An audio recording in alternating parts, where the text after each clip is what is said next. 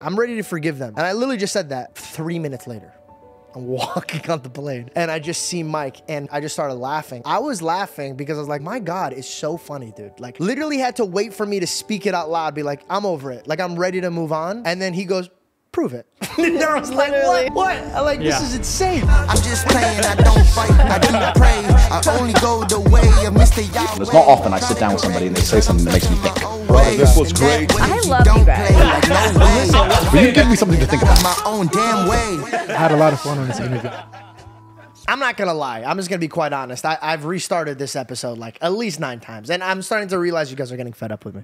No, it's We're about okay. to kick you off. Welcome back, guys. I I've been having like this weird start to like kick off this podcast. I don't know why. I'm gonna be honest. I'll know. I'll I'll tell you why. I'll tell both of you guys why. Why?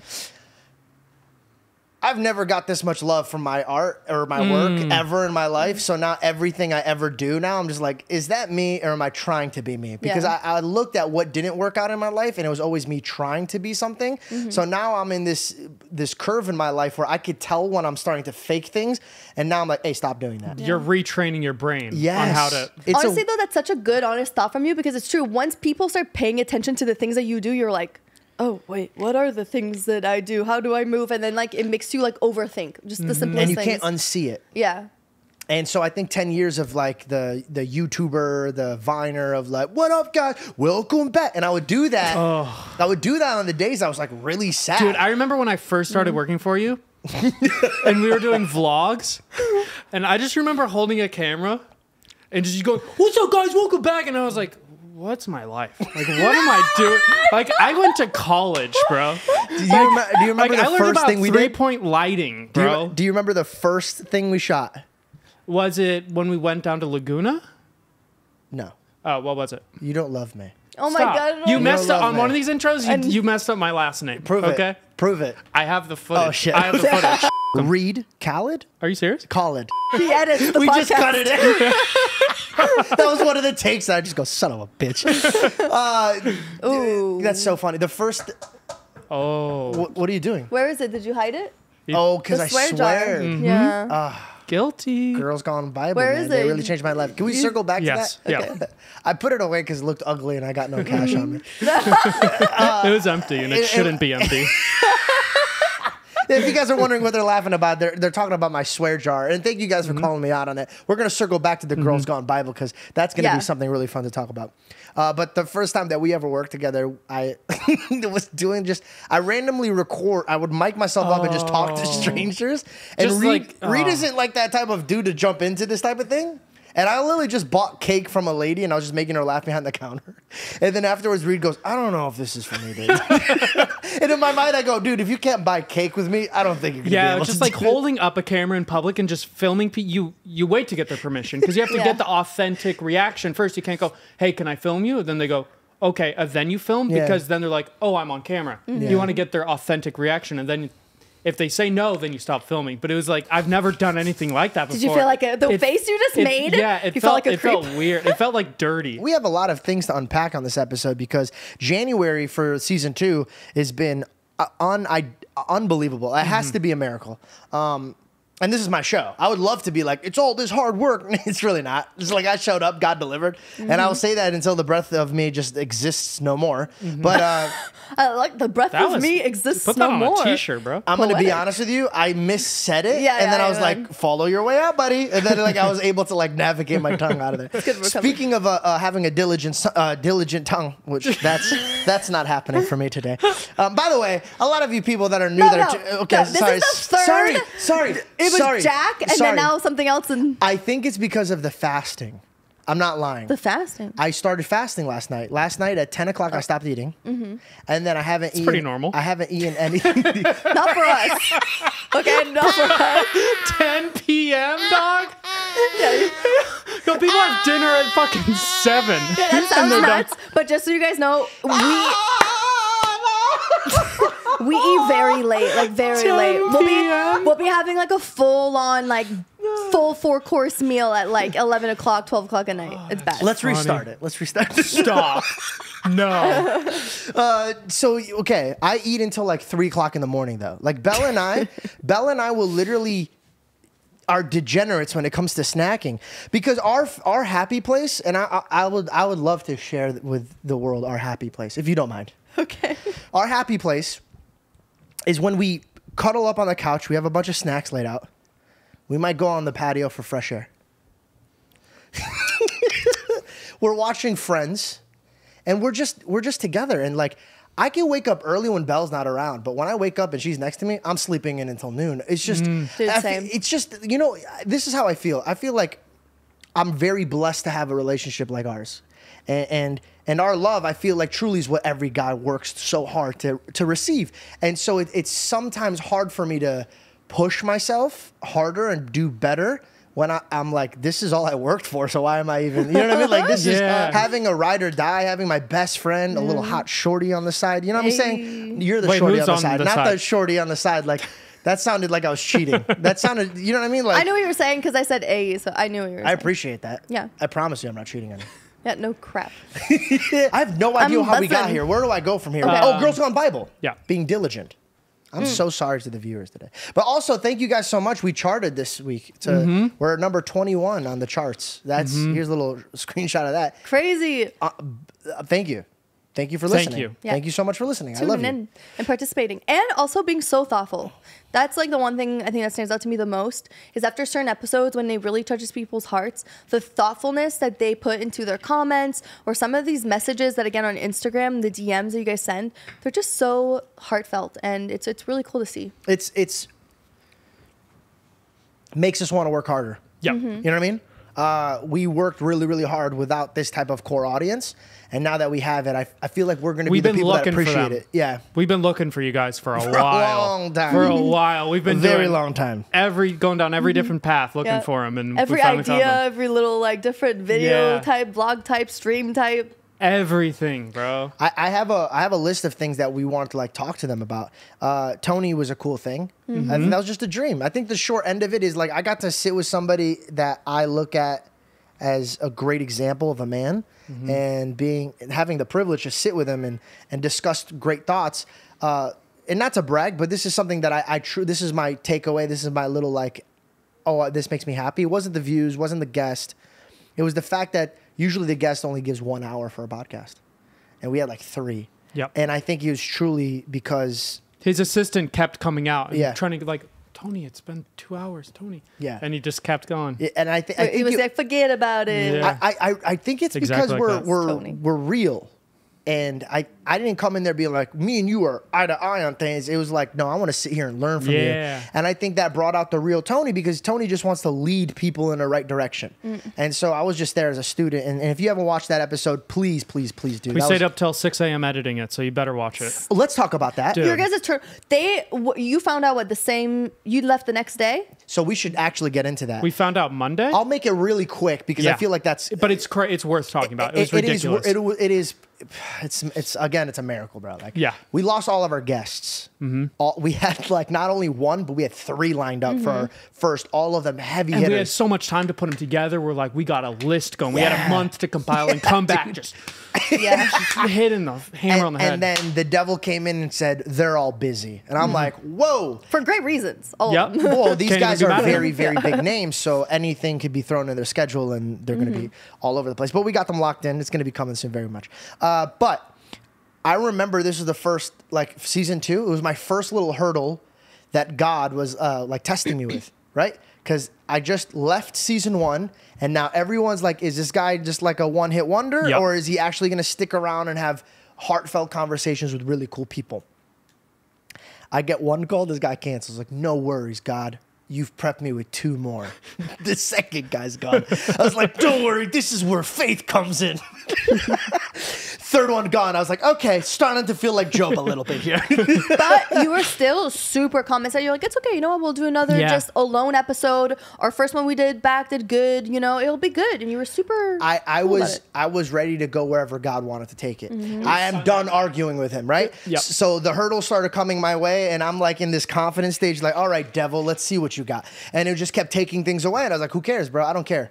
I mean, like, look what God did for me in like half a year with my podcast. I'm not gonna sit here and doubt him. And and we're sitting here with David, we're going over all these plans, and David is like kind of apologetic because he feels bad that these guests are leaving, but also trying to like uh, like you know, give me some motivation. Like, don't worry, bro. Like people still like they're tuning in. Like they're, they're It was a tough position though. Yeah. Because we thought we were gonna have to do two, uh, two of these back to back, two boys and bell Yeah. only. It was the uh, Andrew Tate debrief. We thought we were gonna have to do another boys and bell only, which would have been fine. But it was like we wanted to come back and give them a sick guest first. Yeah, just show them like, yo, we're here, we're ready to play this game. Yes. And uh and Reed is sitting right here, Davidge is like propped up right here on a phone. And I look at both of them, I go, dude, we're gonna get Tony Robbins. Now, mind you, we don't even have him on the roster. We haven't talked to his team. We haven't talked to anything. And I wasn't talking about the first guest back. I thought it was going to be the finale. Like, oh, we're gonna we're gonna close it with a good Tony Robbins episode.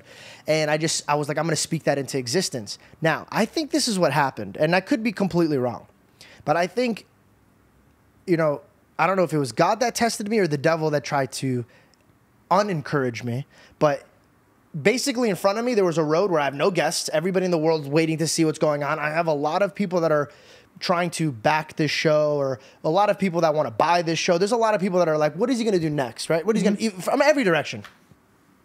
And so I stood there with confidence and I was like, if it's going to be a solo one, my God's going to prepare me. It's going to be great.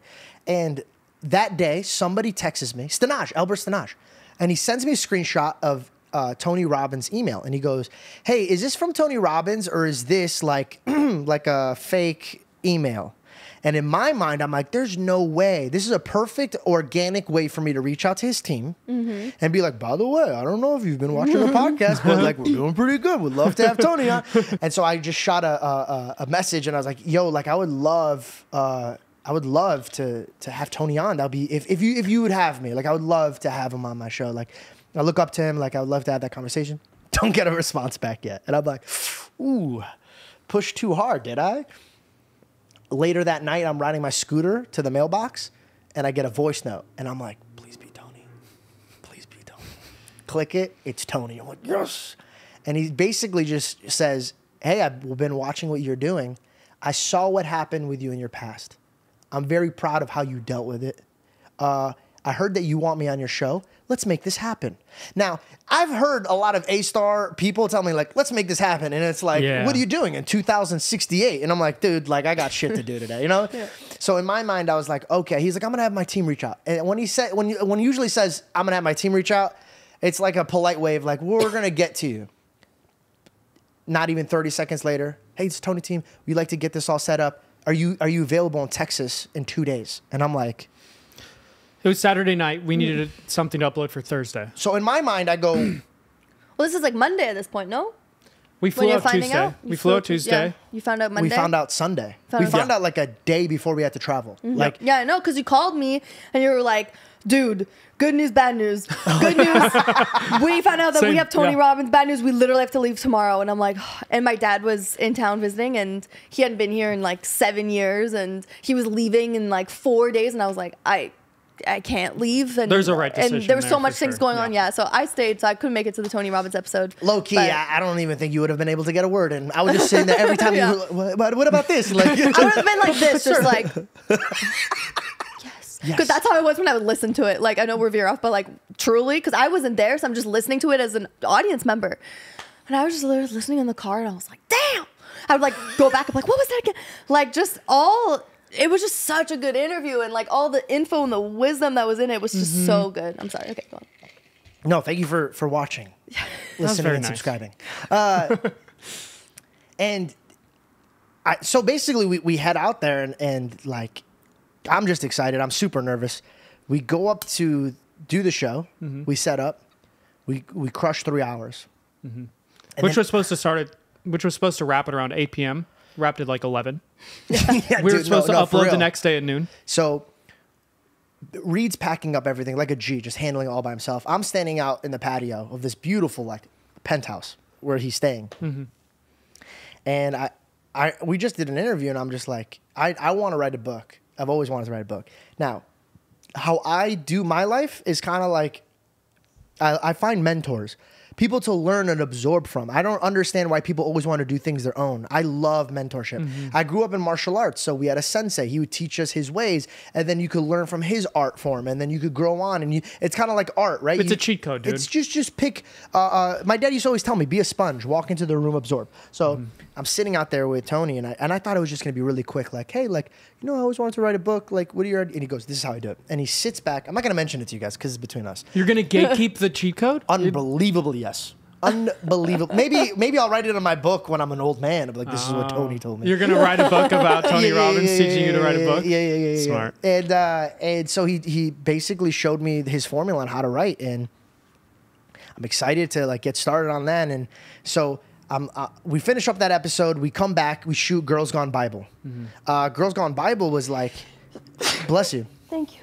Seriously. Girls Gone Bible was uh, was beautiful, bro. Like it was So beautiful. It, it, it did better than the Tony Robbins episode. Like I like it, we we've really got we've tapped into an audience. Yeah. I, I, I cannot believe that I'm saying this, but like you got to understand, I've been in the game for like ten years, and I never really fe- I felt like I had hand me down uh, audience. You know what I mean? Like like you know what I mean? Like isn't this just being realistic, dude? Like I thought I was like, "Dude, what's Logan not doing right now? We'll see what his friends are doing. You know what I mean? So it's like a Yeah. true feeling. And that it I felt had. like we had to bend over backwards to get them to watch it. Like Yeah, we need to the like it. biggest Oh, clickbait. yeah, and now we're watching like us just having a conversation. And the like, Jake people- Paul episode was just called a different side of Jake Paul.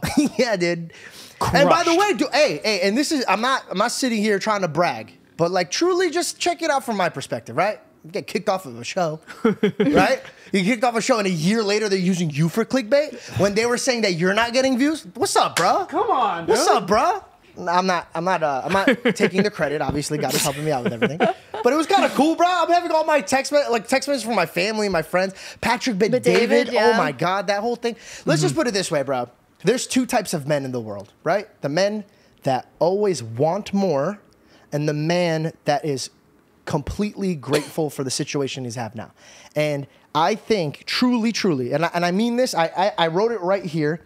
Uh, everything that's happening right now, from Patrick Bet David speaking about me being an interviewer, uh, to Impaulsive audiences uh, defending me, to uh, old uh, friends that I dislike, but now we're rekindling and we're we're building something beautiful. Like God put me in a place to have everything that heart, my heart desires, everything my heart desires. I didn't want any enemies. The people that I grew up with on the show, I don't want to look at them as people that I, I don't like. Like these are my friends, and I want to be friends with them one day, God willing. And like I just I want to be able to stand as a righteous man in front of God and in front of the world. That's my dream.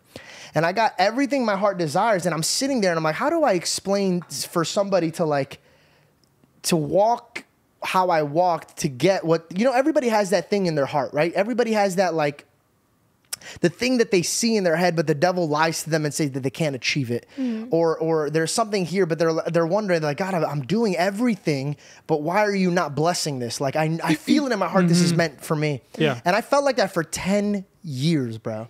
10 years I'm here and I'm I'm trying and I'm doing everything and then And also in the place where things happen overnight. Overnight. You're- you're- and by the way, dude, I'm on in the, biggest place. podcast show. Yes. Uh, when they do the uh, the crossovers for the show, like uh, uh, KSI's team and the uh, the Impaulsive team, everybody in the comment section like, "Oh, this guy's really funny," but my career is just not growing. It's not moving. I, I went from celebrating my two fo- two million followers four years ago, and then I'm looking at it now. I have 1.7. I lost 300,000 being on a big show, and like it, it's like it's like I had all the tools, all the uh, uh, opportunity, all everything, and nothing was working out for me, bro. Nothing was working out for me. And I think, and this is just from my perspective on my life, I think when God decided to give me everything that I was working for was when I showed him what my heart desires will never be desired more than my God. So if there's a God in heaven looking at me and I'm like worshiping vanity and like my, like a big house or a big career or fame or I'm stuck at 1.6 million I'm, stu- subscribers. I'm stuck at 1.6. I'm always wanting more. yeah. God's like, well, from my point of view, you're just worshiping dirt. Mm. Because all of this is going to become It dirt. doesn't even actually even exist. You're just looking at a number on a screen. It doesn't even. It's not even tangible. it's it will and people will forget about it. I'm mm-hmm. worshiping things that are they're meaningless. Yeah. Okay. So then every door opens, every opportunity happens when I'm just my head is concentrated on Christ. And you could tell I'm not just speaking this. You could see through my podcast experience of how much more I'm talking about, how, how much more passionate I'm as my friends, you could see that I went from talking about it 80% of the day to like 100. I don't even care anymore. Like I'll talk about it all I want. Well, it was also it was so part of your personal life, but not part of your like public life. But if that that's a makes sense. coward's move. If it's if it's everything that you should be, why is all these other influencers or all these other people showing their full recklessness, Mm-hmm. but you don't want to show your full righteousness? And so I I I was like, you know what, God, I just want to be with my wife and my kids and just have enough to pay my bills and just worship you and just be where you want me to be. Take my feet where you want them. And that's when God's like, okay, now I could work with this guy because he humbled himself. And I said, okay, now this is the craziest part. Everything came. And then it reminds me of the Bible verse seek first the kingdom and the rest shall follow. But here's the best part I got every opportunity to make the money. I got every opportunity to have these guests. I have every opportunity to turn on this camera and touch a lot of people's hearts. Where if you're a creator, that's what you want. You want to be able to influence and do things in, in a way that you find it right in your heart. All of this now, meaningless. Now I look at my God and I go, God, what do you want from me? What do you want me to do? My prayers were like, God, I need this. God, I want that. God, why is everybody doing this to me? God, this, God, that, God, that, God, that. And through this circumstance that He put me through, from leaving a show to, to having a fallout to starting from scratch, He changed my heart. Mm. It's no longer, God, what could you do for me? It's, God, what do you want me to do while I'm here? What can I do for you? Not that he needs me to do anything, but if he was going to give me blessings, he would give it to me when I could handle it. And how I was behaving, how my actions were, how I treated my loved ones, my friends. Now, mind you, I wasn't a bad person, but it could be better. And if you want better things in life, you got to be better. You got to move with the intent of being better than you were yesterday, not being complacent and like, oh, I'm good enough to have that. It was a selfish mindset. I was very, very selfish. And in fact, like I looked at the traits of like my my old co-hosts and I'd be upset with them. But after the journey of God working on my heart, I realized I was only upset with them because I do the same things. Hmm. I'm egotistical. I worshiped vanity, even though I didn't think I worshiped vanity. There was so much more to my life that God was like, How about this? Before I give you everything, let me work on you a little bit. Let me show you why you should treat your enemies with respect. Why you should, instead of asking me for more, which I've blessed you with so much, why are you not asking me how you could help your neighbors get to where they need to be? And all of a sudden, now I'm doing things for my neighbors and I'm serving left and right. And I found true happiness in this. That when God is blessing me with more, I'm still at like, you don't need to do anymore. Like I'm I, I don't need a big house. I don't need the the cars. I don't need uh people running up to me telling me everything because I found so much joy and happiness serving other people around me and most importantly serving my God that everything else is just is it's a bonus. It's not bad. Mm-hmm. It's just a bonus. And and I think that's when God is going to give you all that. Because in my mind, I picture him as a father, right? And the, the the example that I could use is this: Your dad most likely won't be giving you a car if he knows you're going to drive far away from him. Mm-hmm. You know what I mean? Like he wants to have that relationship with you, but he would definitely give you that car when he knows that you'll drive and come right back to him. Or ask him, hey, what can I do for you with this car? Like, it's hard for me to explain this. And it your might sound cheesy. Your motivation behind your like changed before your motivation was well if i do this then i'll get this but then your motivation changed and you said no well i'm doing this because i want to and because i love you Per- perfect example. Thank you. Uh, if you're a Christian and you're asking for a great relationship with God, and then at the same time you're asking for your career to do better, but you're not a good person, God's not going to bless you because you're going to be more of a bad person. People that have more money have more access. So technically, if you haven't gotten to where you think you deserve to be, you might be an egomaniac, bro, and you need to humble yourself. And that might you might be like, no, bro, what are you talking about? It's not. I didn't think that. I would look at the people that I would look down on and be like, look how they treat me, or look at it, and I would look down. I would look down. My mental state was down, down, down. And God goes, well, look how you're speaking about them. If you truly felt like they were beneath you, wouldn't you want to go like this and bring them up? Because I don't know if you noticed this, but my POV is looking down at you. It was a defense mechanism. It's because you mm-hmm. were in pain. That's how you. That's how you coped with it. But does that give you an excuse? Not at all. Okay, actually, you know what's so funny? I wrote this down. Um, it- it's it's like uh, we immediately went into the biblical round. That was supposed to be like in the, the ending. So I, I said all of this just to just kind of just for the Christian man, the man who loves God. Um, if you feel like there's something in your heart that you know, bro, you you can't even explain it to somebody, but you know this is where I'm supposed to be. uh, and you're not there, you got to bring it to God and say, hey, like, take my feet where you want them to be. Because I feel like I'm just walking in the wrong direction. And that's how I was. Like, I was so, I thought I had to work for it, for You God on a to bless hamster me. wheel. I thought I had to. I thought it was lazy. I- If I don't work for this, then then uh, uh, then God wouldn't bless me because I'm lazy. But that's not true. You you, can, you can, obviously you have to work for it, but you have to show faith. You have to. If you don't have faith, then you're gonna start acting out of emotions that you shouldn't be leading. Like a lot of business stuff went wrong. I okay. If I would have gone back in time with Impaulsive, just Impaulsive, we'll just bring up Impaulsive. I would have behaved way differently hmm. because I would have known that my friends, you know, they're treating me a certain way, but I know that they love me. There's love there. So instead of putting my ego, but how dare they talk to me like this, and letting comments get to me, or or letting family members saying like, you know what, they shouldn't talk. I let my emotions dictate the door. Now, mind you, that was a blessing because God put me in a position that I'm I'm a little bit wiser, and I and I and I should be grateful for that to happen. But I can't not neglect that there was a lot of mistakes on my part. I led with emotion a lot. And if you're a man with faith, you got to learn how to holster your anger. You got to learn how to holster your emotions of fear because the time where God's supposed to do his job, if you interfere with it with your emotions, you're you're only hurting yourself because you're not trusting your creator to do his part. And it's you know, like I'll give you know they, you sow what you reap, right? But remember the weather, you can't control the weather. You can't control the dirt. You can't control the water. You can't control the soil. There's so much that depends on the Lord that you have to have faith.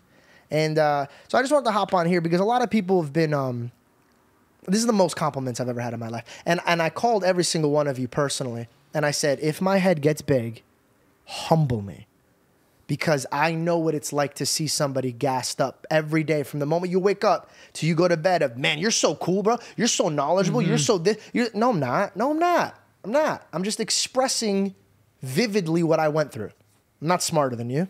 I just know how to talk better than you. That mm-hmm. doesn't make me smarter than you. That makes me know how to express better than you.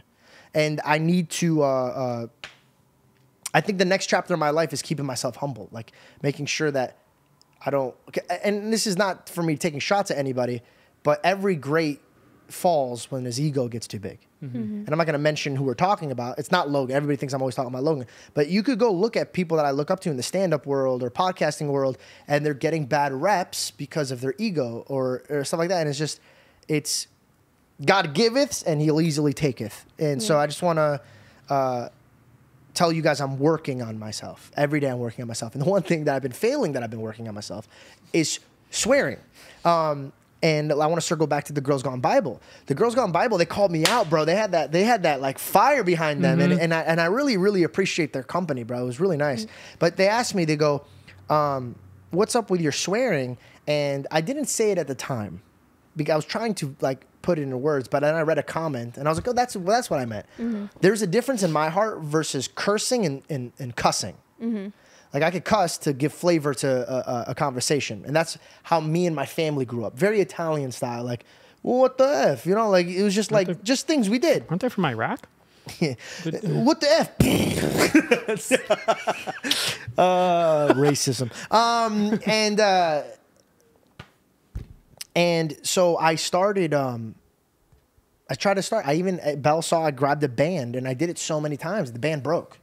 And I was like, wow, dude, like I really do swear a lot. And the reason why I'm taking this seriously is because I'm just trying to work on discipline. This year is the year of discipline, right? Amen, same. Structure, discipline. And I feel like I find my happiness when I give myself structure. We're made to have structure and like obedience. It's just, it's just mm-hmm. how I feel like I'm made, at least, right? Yeah. Um, And once I realized how much I swear after trying not to swear, I was like, oh, you're a hooligan. You can't unsee it. You're a hooligan, bro. I'm a hooligan. No, I'm but- literally a hooligan. I mean, it's because it comes from habit, and when you do it for so much time, you know what I mean, of your life, and then it becomes a habit in like, oh, well, it makes people laugh, and it's easy to to just use it in your speech, you know. So, but I, I thought that it was beautiful and such a great example of Angela and Arielle to be able to, you know, bring that up to you because it's not like you know we're becoming friends with them now but this was our first time meeting with them in person and you know it could feel very awkward to have to call out your friends on something that you think that they're doing wrong or something that you feel like i know this would better them if they knew this but oh, i don't want them to be angry with me and make it awkward. Hmm. But she was able to have confidence like in her lord and be like no you know what? Like this is in my heart and i feel like i should rebuke him on this. And so you know, because it's coming from a place of love and it's coming from God, then like he shouldn't take it in any bad way. And she leaned on that and she was able to call you out on that and have an honest conversation with you. And I just think that that was such a beautiful example for for people to see and for women to see that like it's okay to to stand on what you believe on as long as you're coming from a place of love and betterment then there isn't anything that you can't talk about with somebody if it's for them being better and then on the other side for you it showed such a beautiful example of a man and a leader to be able to listen to what somebody is saying to him without being you know like what, what, do you mean? You're correcting me? And you put you weren't your pride wasn't in the way and you're able to go you know what? You're right. Like i am wrong. I do i do do that and that is wrong. And then you said okay and i will change it. And so to be able to make that decision right there and then in that moment and to realize that you're wrong in a situation it's not a easy thing to do I thought I've always wanted to. I just never had the care to. All it takes is a couple words at the right time, and I, was, I just saw two girls that really loved God, and they were just like, "Hey, what's up with this?" And like, I know that wasn't for no reason, and I truly feel that if you're Christ-like, God has beautiful moments where He uses other people to check you. And I, I pray for that every day. I go, God, how can I be better? So when I'm sitting with two people that are, are put together and they're and they're classy and they have this type of structure in their life and they say, Hey, what's up with this? There's two things a man could do. He could either cower and use his emotions and be like, nah, you don't know. Or you could just be like, Got it, I'm gonna work on it. And it's harder to do that but it's not hard if you pray for it. Like I, I think I was only ready to hear that because I'm ready to work with God. Mm-hmm. And I think that's how it is with this world. Is a lot of people could see God because they want to see God and they want to get worked on and they want to be obedient. And there's some people are like, I like moving in my pace and my time and my thing. But mm-hmm. everything I've ever had in my life was based off of another human giving me something amazing or God opening up an opportunity. So it's stupid for me to like turn down mm. Criticism. Now, mind you, there's times I hear criticism when people are like, "Don't talk about God so much," blah blah blah, and I'm like, eh, "That's my passion." You're like, you wouldn't be telling an it artist. to doesn't not mean talk everything is tell somebody's telling you is Yeah. right you know you don't have to take everything that somebody says but Yeah, you it- know? you you'll know when you should or shouldn't take it. Speaking of like uh, uh, God using a perfect time on the way to Jake's uh, podcast, I bumped into Mike, and I know you guys already heard this on uh, on Impaulsive, but uh, I bumped into Mike and on a plane yeah. hilarious. at LAX. Hilarious. But dude, what did I say before we got on that plane? What did I say? You don't remember? I don't remember. Oh, I'll say You know it. my memory. I'll say it, and if I'm lying, call me out on it. Okay. Okay. Uh, we're sitting on the plane, and we're we're again, we're just kind of like looking at our calendar and just praising God and just being like, "This is crazy. I can't believe it."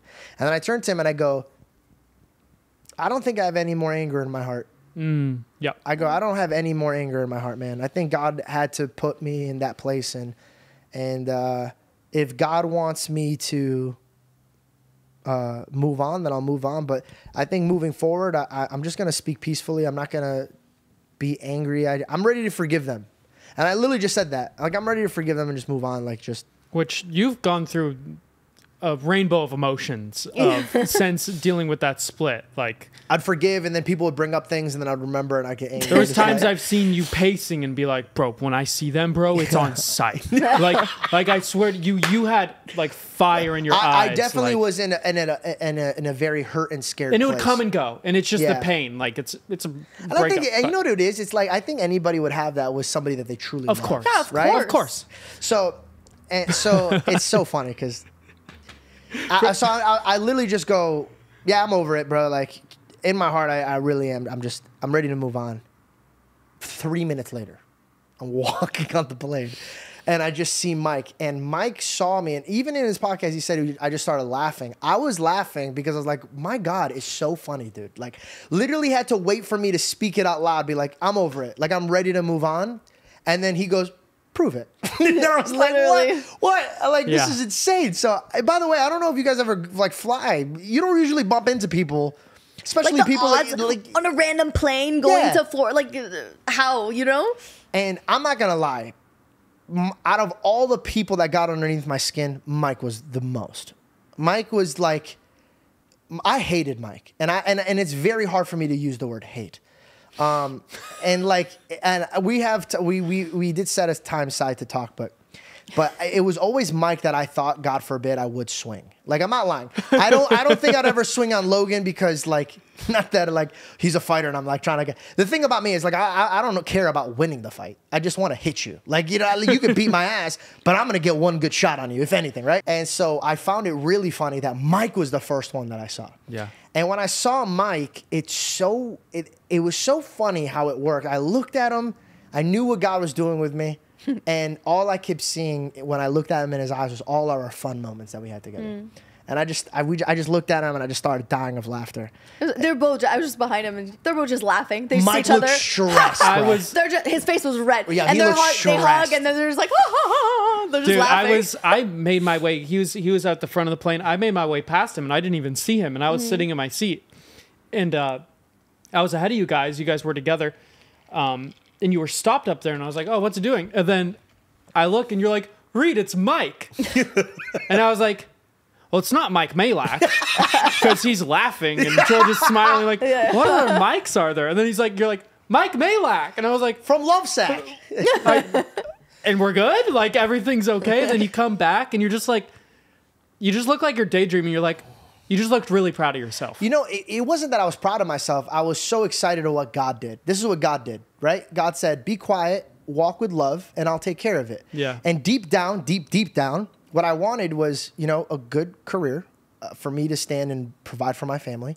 But also, I, I don't want any enemies. I don't want enemies, bro. Like, especially from people that I truly looked at and I said I loved you and I meant it. So when I when I watched this happen, and I was like, "Wow, my God not only gave me a career where the whole world is like, yeah, he doesn't need Impaulsive, he's good on his own." But then God goes, "Hey, do you want your friends back? Do you want to start building that? Because I will give you everything you need, as long as you walk diligently in obedience. I'll give you everything you need." And so when I sat there and I was like, "Okay, cool," he's giving me an opportunity to uh, to like really make this work, right? yeah. And dude, you know what's really funny is that he was making me laugh a lot. Bro you were giggling you were was t- you guys texting. were texting each other and you were giggling. I giggling even texted. I And go, you- "Hey, stop making me laugh this much, bro." Yeah. And I had to unblock him because on the way back, he goes, "I'm gonna text you." I was like, "Bro, I have you blocked on everything." And he goes, "Could you do something about that?" and I was like, "All right." And so like I unblocked. bro him. you were like giggling to yourself and you're texting and you're like i still don't like you Literally word so for funny. word. Well, it's because I think you know what it is, bro, and and I, I I'm gonna put myself out there because this is a subject that people were talking about, right? And if we're gonna talk about forgiveness, it's regardless of how you feel, regardless of how you feel. It's not you're not doing it for them. You're not doing it for you as much as they say that. You're doing it because God told you to. He said, "Forgive your neighbors." Forget about it. And and, and to, to just peel it back in different layers. The truth is, bro, everybody got something going on, bro. Mm. They, it- the, the, the truth is, the person that's probably hurting you is hurting probably more inside than you even know. Mm-hmm. So I, I had to kind of pick up my pride and throw it away and say, okay, like you've given me everything. I didn't deserve to be in the place that I'm in. So if you want me to like make this right or make, be a good human being, like to the people that I love, that if you're not, here's the thing: if you can't forgive, if you can't forgive your friends, how are you ever going to get to a place to forgive your enemies? Do you get what I'm saying? Absolutely. So we get off the plane and I uh, I see Mike and uh, and uh, he just he's just making me laugh, bro. And I'm sitting here and I just straight up tell him I go, bro, I'm not the same guy that you met. Like I'm not. I'm very very different now. I'm very confident. I'm not scared. I'm not lost. you don't need anybody's approval I don't or need anything. anybody, dude. Like Yeah. I, I, God made it very clear it's me and him, and I, I, and he literally looked at me, and goes, "No, no, we know that, and we could see that." And when he said that, I was like, "Man, there's really nothing my God can't do, bro. Mm. Like really, there's nothing He can't do." Don't you feel like the last few years has been like God planting seeds? And I, this is, I mean, this is what how I feel this year is. This year is like blooming flowers.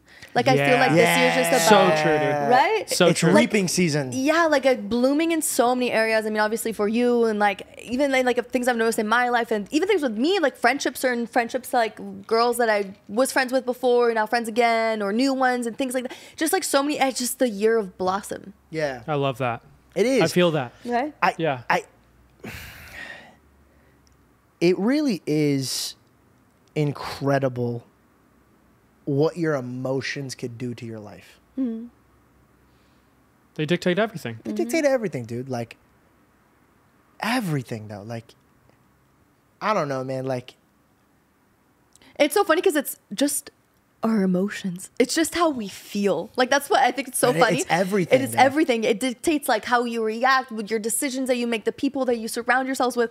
But it it's just so simple. It's just how we feel. It's just our feelings.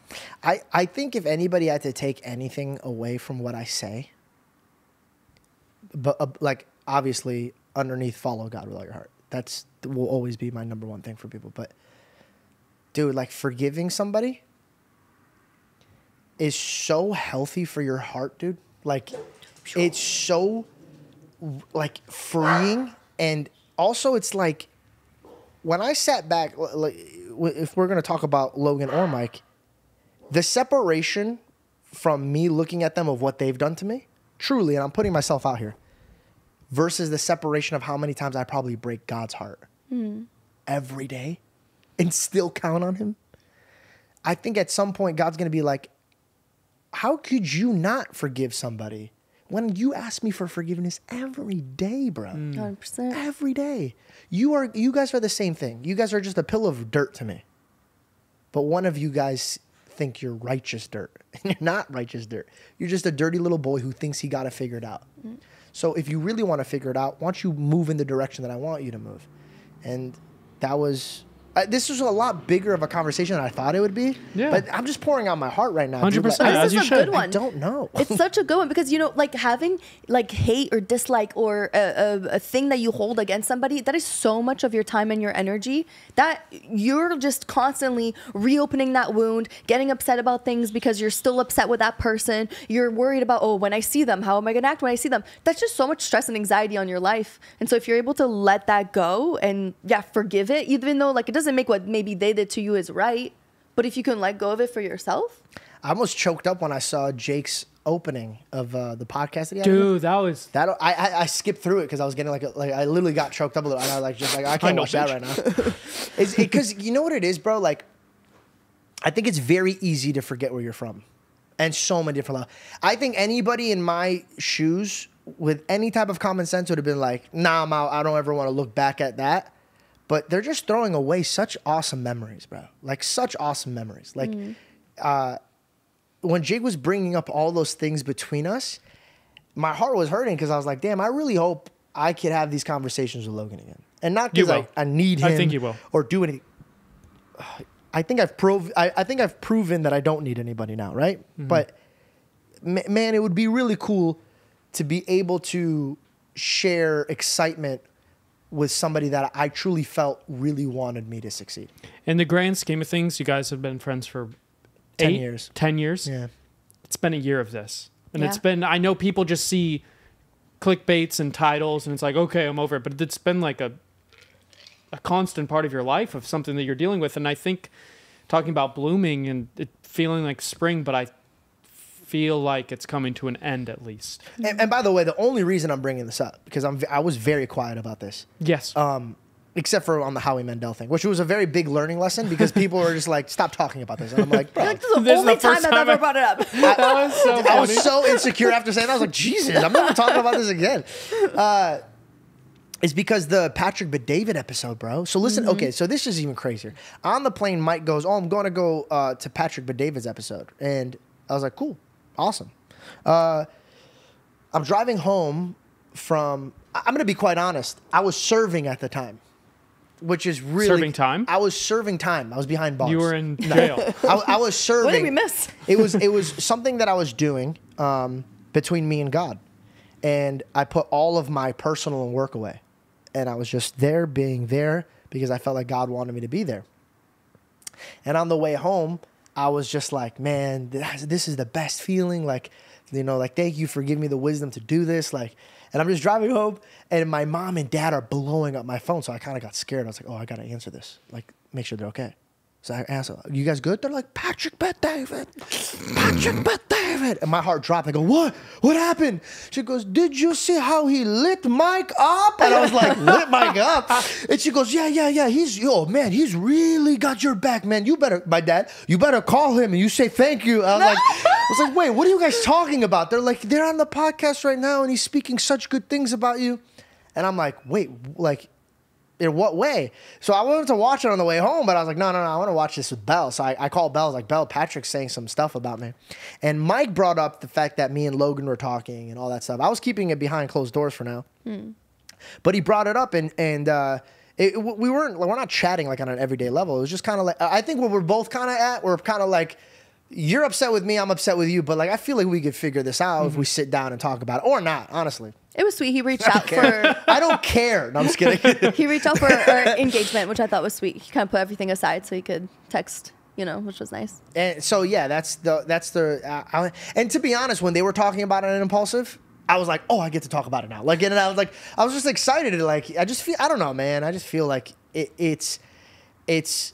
I'm grateful. I'm just, I'm in a grateful spot right now, and uh, and thank you to everybody who's listening. And I, and I hope this episode wasn't boring. Like, I, I know this is like a recap.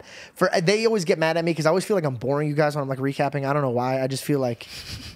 I don't know why. I it's so weird now that I have a platform. I no longer even want to talk about myself. Like I, I'd rather talk about things I'm working on myself. I Like, had an idea for these boys and bell only where people that are watching could leave comments Yeah. or something um, about if you have any questions or anything. And at the ends of these episodes, we could go to a couple from the last episode and I bring them up. that. I don't, whether it's just Yeah. as a subject of it could be biblical, it could be just a question about your past. I it love could be literally anything. anything. That would be really cool. I really, and we could really just go love through the comment section and pick a couple out. So around this time, we'll do it next time. Around And this I time, could we'll prep. just have a couple read different things. Yeah, to- yeah, and it's better than a call in because I feel like at a call in, it'll be like kind of like I have to think on the spot. Mm-hmm. But if I read a comment and I could sit with it, pray about it. I'd Yes. be like, okay, cool. Let me figure out a good way to speak about this. Sure. no, that would be really fun. That'd be would a great fun. way to like. because we're always trying to think about okay what are we going to Yeah. bring to this episode i have a couple subjects but that way we can put it in their corner and be like what do you guys want us to talk about Mm. because when it's a guest it's you want to give them the, the attention and Mm. respect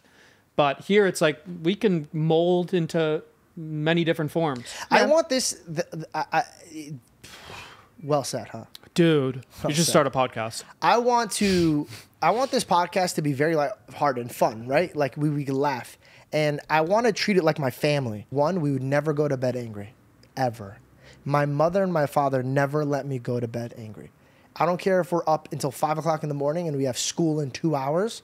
My mom would make us sit at the table and discuss, get it all out on the table, give each other hugs, wrap it up. And so I want that raw, like, I'm just every week, I'm gonna come, I'm gonna put my heart on the table.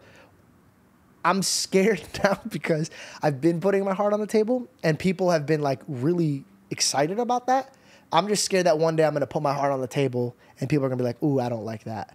Then And it's too that's bad if they don't scary. like it. it. gets scary because I'm, I'm I'm I'm getting used to the like, "Hey, nice, Yeah. I like that," and like I'm scared that one day I'm gonna be vulnerable and people are like, "Whoa, whoa, whoa, no, no, no, not me."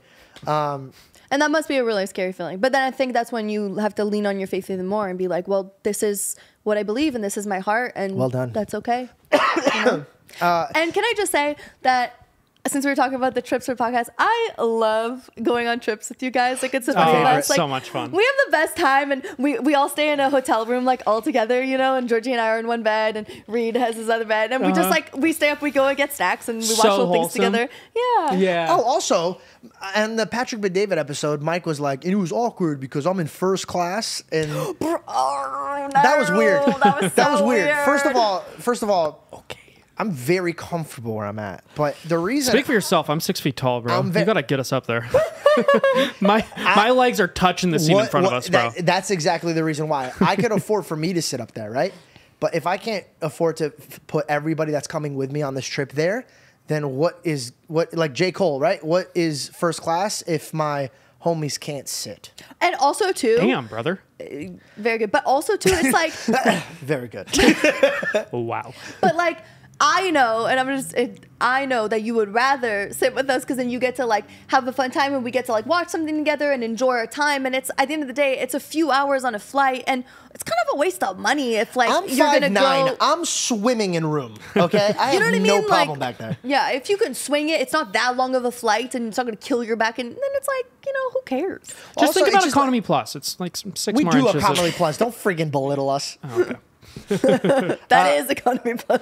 That's economy. You know what? Now you're going back to the toilet. Ali- and by the way, a lot of talk coming from a guy that puts his shooter That's all the so way in funny. the back, David was in the just like last this, row. and he's like, "I hate tra- I hate Dude, traveling seeing with him Mike." was so funny. By the way, he always like in, in Paul. I'm gonna call you out, Mike. Now that you're talking about money, I, and I, you know, I'm getting David's back because me and David have been tight since I left. So this is for you, David.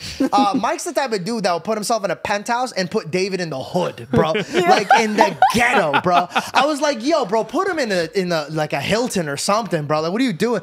Just in the. I wouldn't even go to where David was. I was like, David, I can't be there. I'm scared. He's like, I know. I don't know why it's cheap bastard keeps putting me over here. And they're always complaining, bro. They're always complaining. Every time I see David, I go, David, how is it going? I got to get the hell out of here, bro. I hate Mike. and then I say, Mike, I go, Mike, how you doing? He goes, I gotta get a new shooter, bro. This guy's like really killing me. And you think it's a joke on camera? It's not. They They're re- gonna be 80 years old saying the same thing, bro. Uh, Still hate just him. living together. Can't get rid of. Should Should we tell them what happened in the hotel room right before we left? Oh my god, you want You to wanna tell them? do that? No, you I don't wanna tell them. I What do you don't- mean? What the You're the one hell? that just brought this up. No, I don't want to tell them, but I realize it's not my fault. It was because of you. Whatever, Dude, I would not. Whoa. Okay, I would okay, not be okay, bringing then that up. No, no, no, We're no, not no, bringing no, it up. no. No, we no, are never definitely bringing that No, up. no, no. No, No, no, no, it's no, because no. it's your fault. No. It's your fault. So can I? Can I? At I don't know. the- George and I have gone on a lot of trips by ourselves. And never never had a problem. So by the way, by Never the had a problem. Now, okay, so speaking of, uh, okay, this is. Wait, never mind. I don't wanna bring it no, up no, no, anymore. No, no, hold on. We're bringing it up because you brought it up. Okay, so I just want to let you know. Not only do we ride uh, together, and not in first class, but I always get us. I asked Reed's permission, by the way. Straight up, you could look at him, ask him. I always get us rooms together Mm-hmm. because, like, we're only there for a day. And we literally at night we're always hanging out. So we literally watch a movie together. We go to dinners together. We do like we went bowling. We just like we like to just Wholesome. much fun. We like to It's hang a out better together. than going to clubs. Yeah. Like we yeah, used bro. to do. I mean, it's just it's uh, it feels like a family trip every Yeah. time, and it's really fun. And uh, so when she, me and him are, are sleeping, he's in his bed, I'm in my bed, and I literally just hear, "Oh my god! Oh my god! Oh my god! Oh my god! Oh my god!" this oh my is in the morning. We're oh about god, to. Oh my god! Oh my god! We're, we're leaving in like three hours to our flight. yeah. Oh my god! Oh my god! Oh my god! This is my worst. This is not happening. This is not this happening. is my worst nightmare. Oh my god! And then we're like, "What? Don't look over here! Don't look over here!" And I was And like, she's talking through the door of the bathroom. Talk through the door of the bathroom. and I open it, and there's just overflow of shit water coming No, out of it. don't say it like that. What are you talking about? It was about? water. It was more than water, bro. You don't gotta introduce it that way, because th- then you'll find, because then you'll find out that it wasn't Wow. my fault. It was George's fault. I have a problem with bathrooms, right? Not only do I, I in public bathrooms anywhere, I I layer the toilet with toilet paper, like just layer it. Public bathrooms make sense. but even the Oh, hotel. the hotel? nice hotel. Yeah, right. Yeah, right. Yeah, right. Like they clean that shit. And so they, they so they put all the toilet paper. And so when I flushed, there was I remember walking out and looking at it. I'm like, I think my toilet paper got stuck in there, but I'll deal with it later. And I just went right back to bed. Oh my god! Oh my god! Oh my god! Oh my god! Bell had a shitstorm. Stop it, George. Okay, a tiny little poop. I used the restroom. Okay, you she used the bathroom, and it's just pouring out, and it's flooding into the room. And I'm looking at this girl, and she goes, ah, "This is not happening. This She, is it was worst." just. It was really. I got to see you guys, and I just like was a fly on the wall. You just said that. I was just chilling, but Bell just you looked so hopeless. You're like, I don't know what to do. And then George comes over. He's like, It's okay. It's not a big deal. It's not a big deal. We'll deal with this. We'll deal with this. Okay, um, Reed, can you call room service? We've got to get somebody up here. It's okay, sweetie. It's it's not that bad. It happens.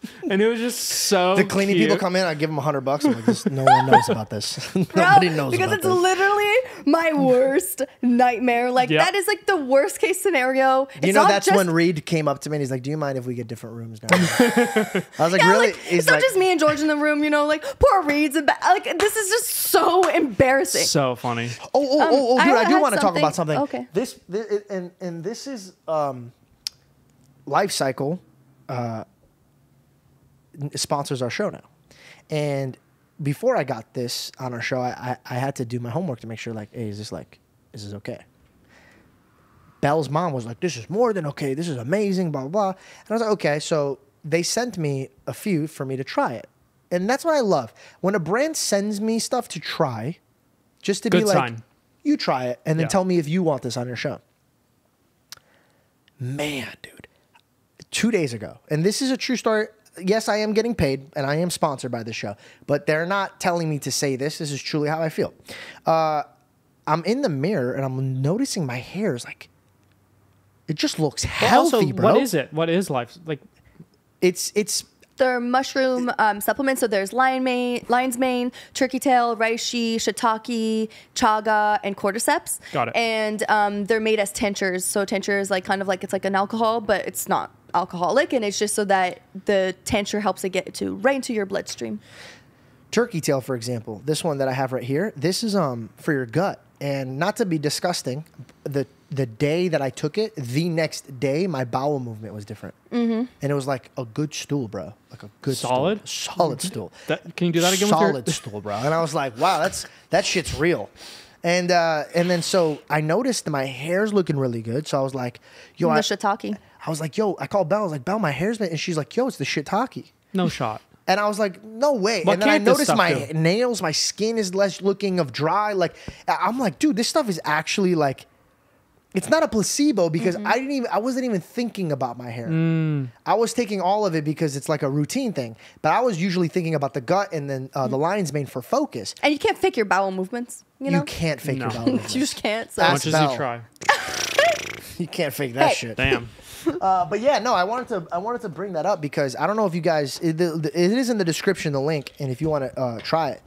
True, I would I would if you're this year was discipline for me, getting myself in the gym, making sure I'm eating clean, like taking the necessary steps into making progress with my body, if it's physical or spiritual, mental. And uh, if you're on that wave and you really want to take that step, do your homework on it first.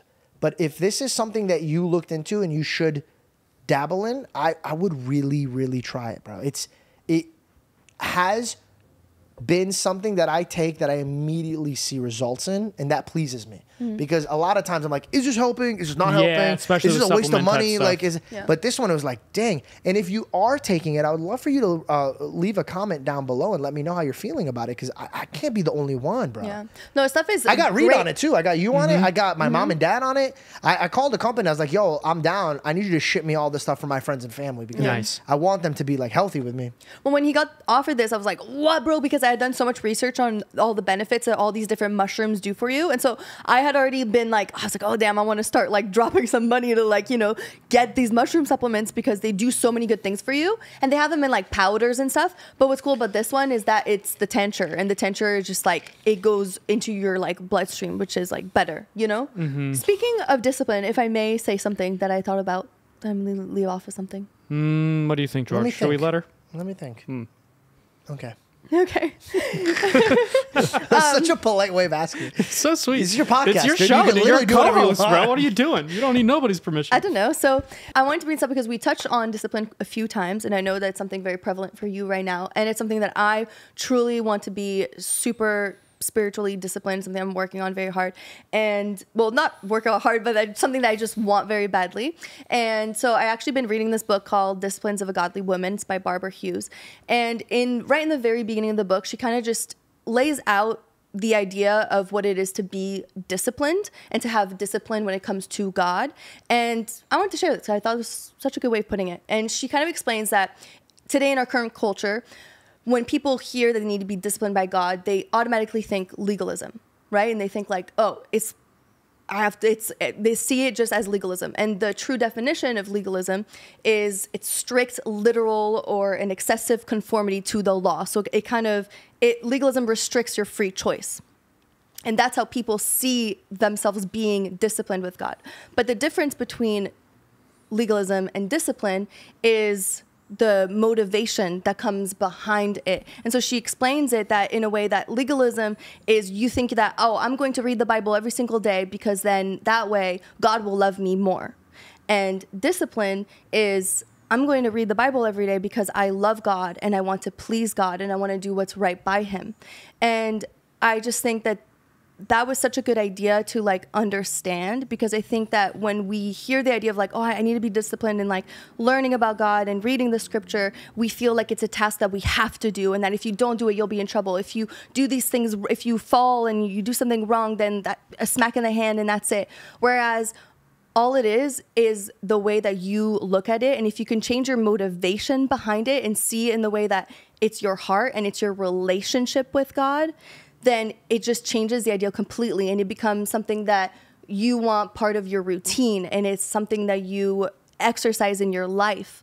And so that's like the discipline with god versus looking at it in a legalistic type of way if like that made sense i wrote it down in so many different ways and it came out a little differently than i wanted it to No, but that that's But- it, it might have been perfect for somebody to digest. And if I could add to that, Mm-hmm. um, I realized when I was reading the scripture, all the people that weren't walking according to what God Christ wanted them to walk into, He never condemned them, and He never was like sending them in a bad place. He would just say, "Okay, well then carry on doing what you're doing."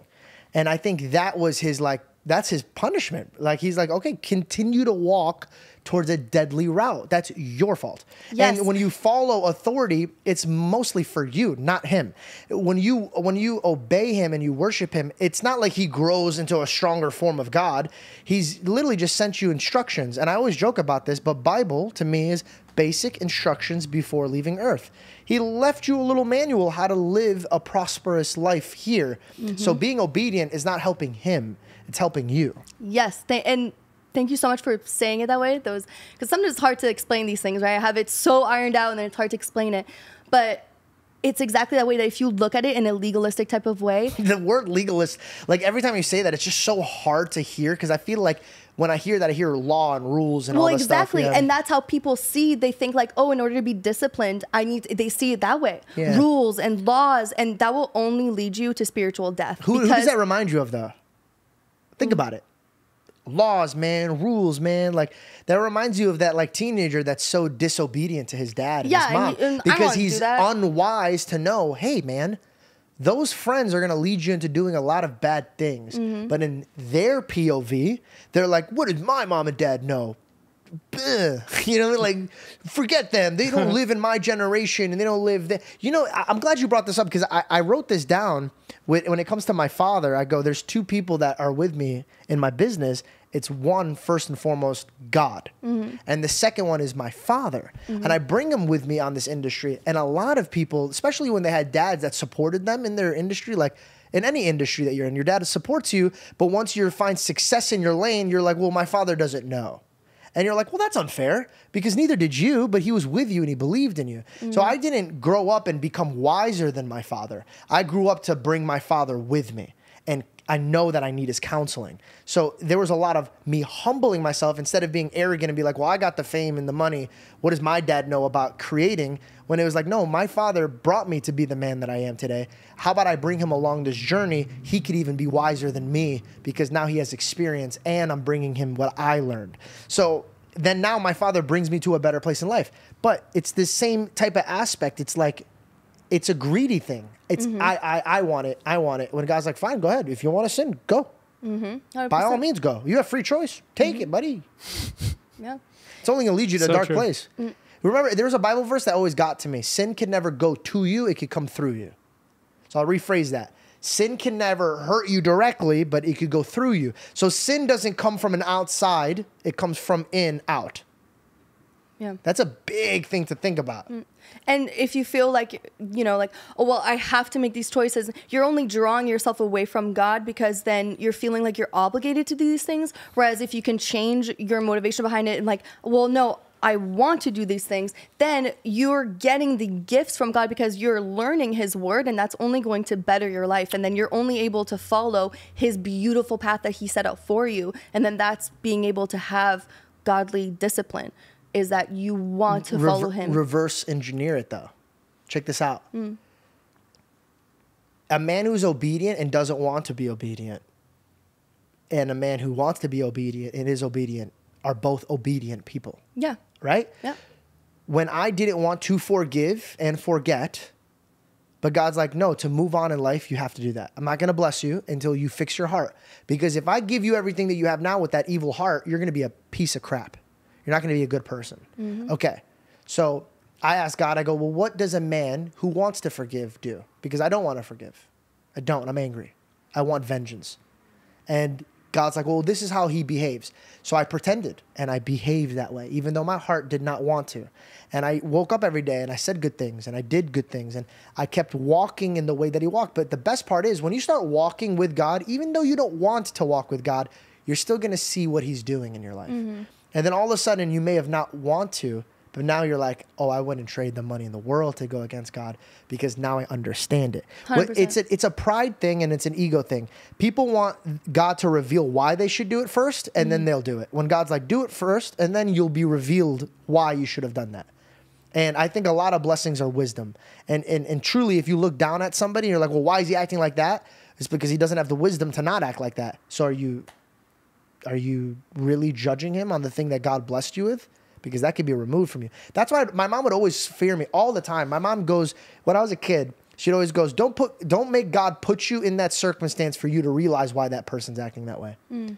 And that scared me because I would look at somebody and always we'd always say the same thing, right? Why the beep is this guy doing this?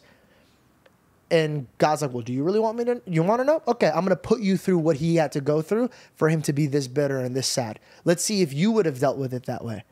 When you look at somebody who's going through a lot, and you're like, oh, I would have dealt, I would have dealt with it this way, this way. Would you have? Because I know a God that will put you in that place like that, Deep. 100%. real quick. He'll humble you, bro.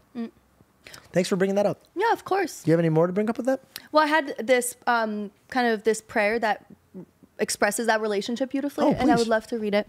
Um, John Wesley wrote this. He was a theologian in the 1700s, and he wrote, O God, fill my soul with so entire a love of thee that I may love nothing but for thy sake and in subordination to thy love. Give me grace to study thy knowledge daily, that the more I know thee, the more I may love thee. Create in me a zealous obedience to all thy commands, a cheerful patience under all thy chastisements, and a thankful resignation to all thy disposals. Let it be the one business of my life to glorify thee by every word of my tongue, by every work of my hand, by professing thy truth, and by engaging all men, so far as in me lies, to glorify and love thee. There it is. Jesus. There it is. That's what you were looking for. Yeah, Damn. we're gonna end it there, bro. Don't swear, bro. Oh, I'm sorry.